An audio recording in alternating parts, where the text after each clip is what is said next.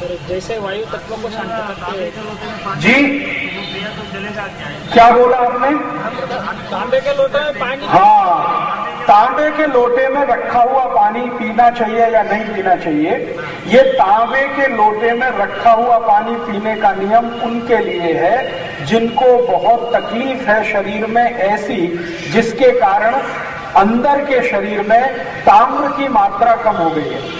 उनके लिए ये। है माने हमको ऐसी कोई बीमारी हो गई, जिस बीमारी में तांबे की मात्रा शरीर में तांबा होता है, शरीर में सोना भी होता है, शरीर में चांदी भी है, शरीर में लोहा भी है, ऐसे अठारह तत्व हमारे शरीर और ये सब मिट्टी से आए हैं।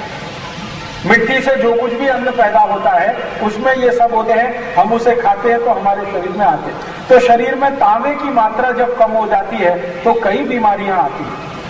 उनमें से एक बीमारी बताओ, जो आजकल बहुत आती है। सिर के बाल जल्दी गिरना ये जितने बाल झड़ने वाले मरीज़ हैं, जिनको ये शिकायत है कि हमारे बाल बहुत टूट रहे हैं, बहुत टूट रहे हैं, समझ लीजिए शरीर में ताम्र तत्व की कमी हो गई है। माने तांबे की कमी हो गई है। तो ऐसे लोगों को तांबे के लोटे में रखकर पानी पीना बहुत अच्छा होगा। बाल बहुत मज़बूत हो जाएँगे।